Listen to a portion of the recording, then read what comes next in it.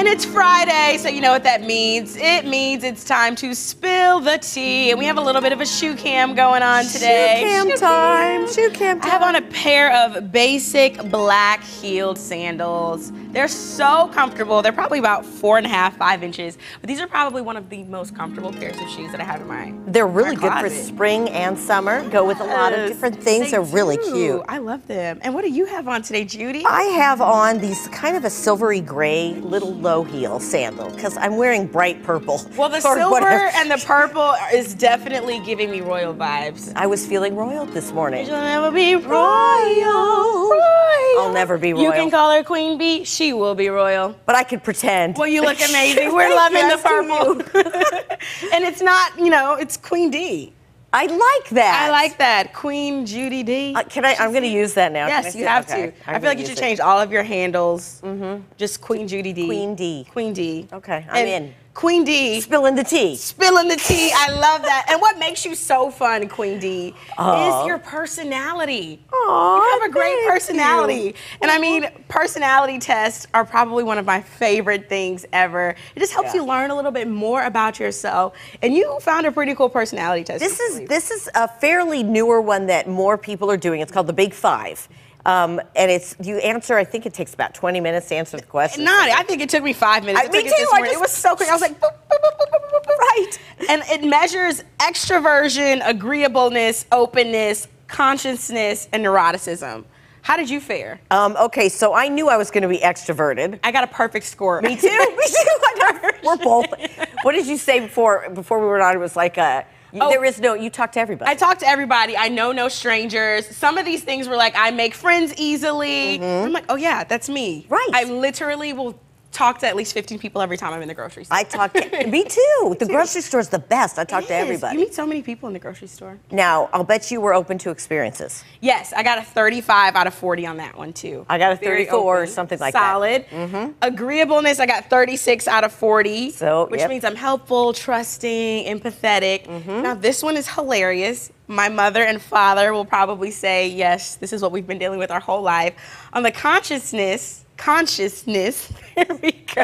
It's hard to say that. It's a hard one to say. I got nine out of 40. Okay, I got seven. Okay, oh, that Okay, makes me feel so, so so bad.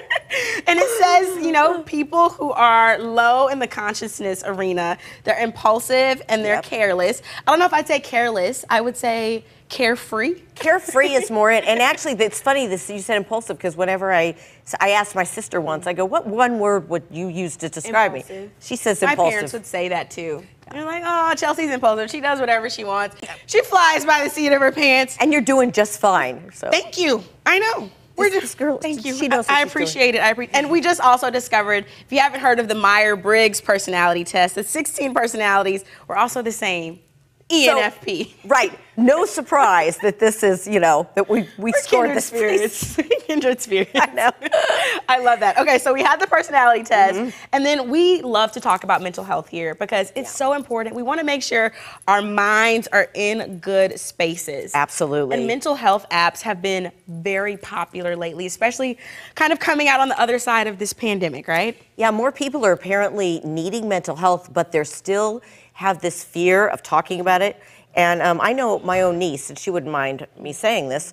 Um, she went on an app, and we she talked to me about it. She knows I've seen therapists, um, and it's been great for her. And it was a minimal charge. Yeah, I love that. And it's really good to just talk through some things. You might have things that you didn't even know you were dealing with. Mm-hmm. And really just talking to a health professional really does go a long way. You can even download some apps, the Calm app. I use the Abide app. It helps me go to sleep at night. So Yeah, the Calm is a great one, and also I like the um, Sanvello. The Talkspace Online is also a good one. So the most important thing is to get help when you need help. You know.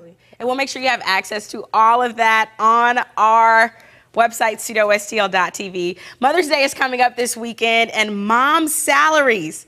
It's determined that if moms got paid for all of the work that they did as mothers, mm-hmm. they would be making, drum roll please, One hundred twenty-six thousand and seven hundred twenty-five a year. Man. Now, is that enough?